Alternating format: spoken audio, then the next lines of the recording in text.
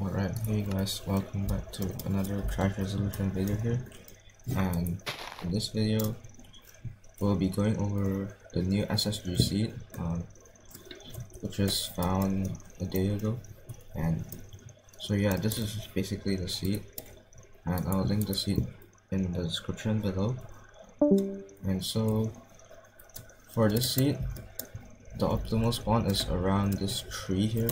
You want you want to be on the top half of this tree. I believe that spawn exists too. And then you want to run to this house. And then you want to get the bed. And then you want to come out. And then this blacksmith, you can try looting it from here. And you can fast loot this chest. You want to take the uh, obsidian and iron pickaxe. And so you want, you can like um if you know Minecraft mechanics, you can do this. The reason I like click the pickaxe there is to um, get cooldown from the pickaxe, and then you want to like um, kind of hit hitter here, and then you can also jump here and like hit hit here, and then you want to go in, grab this bit, and then you want to hit hitter over. The reason you want to hit hit over is so you can reach this land here easier than just jumping. So you can hit it over. And people sometimes will take this torch depends on which route you're using. Some sometimes they take this torch um, for the power room I'll show you later. And then they will drop down here. Grab this obsidian and this flint. And there's mainly two ways of building this portal. The first one is by using the cobblestone like this and then later on you will be doing these two. And the second way is to um, break two netherrack here and then place one one wait um, like this and then place one here and then loot the blacksmith chest. It depends which one you like the most. I personally like this one better. Um so I'll be using this one for this video.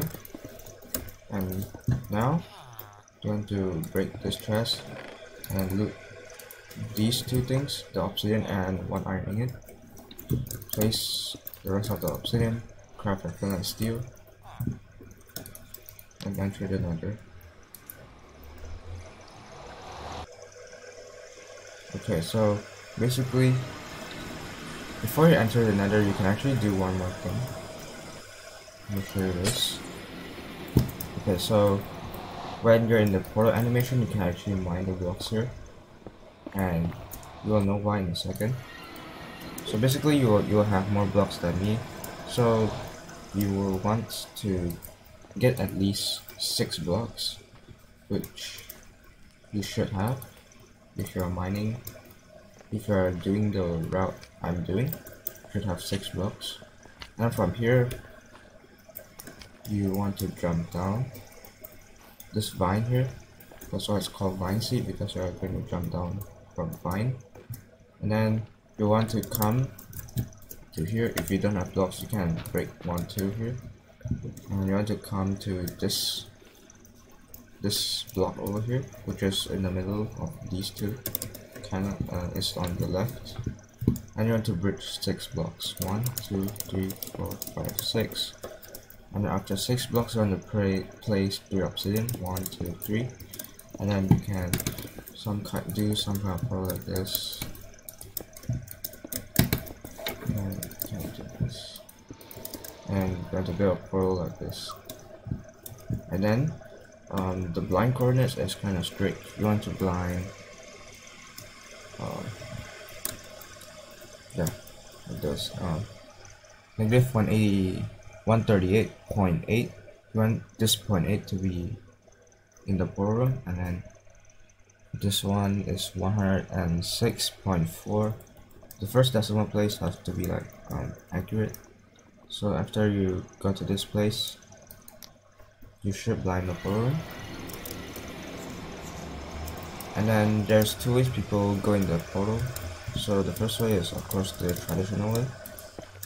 The second way is um, Radio found out you can break this block, place a torch some kind here, and then jump in. And from here, if you have a block, you can place a block here.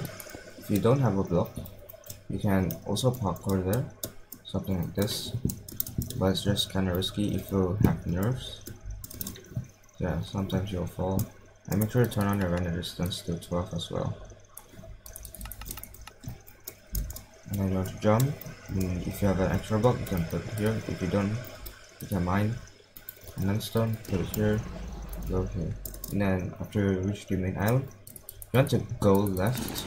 Normally people go right on other seeds, but in this seed, you want to go left because this is a front dragon. Um, some kind of dragon mechanics. If you want to know more, I'll also link a video down in the description. T-Rat will be explaining how to do zero cycle and some of the dragon mechanics as well. And the reason this seat is actually faster is because it's a front dragon and dragon perches lower than any other seeds. So if the dragon perches, you can place obsidian here and then do your one cycle. And people also discovered that this is actually faster with diagonal push meaning you want to come somewhere around here and the dragon will push there and then you can one cycle your dragon here and that's pretty much it and you can practice your portal buildings and also some of the chest loots and yeah that's all for this video and I hope you guys enjoyed this video and make sure to like and subscribe. It really helps me out a lot. And yeah see you guys in the next video. Peace out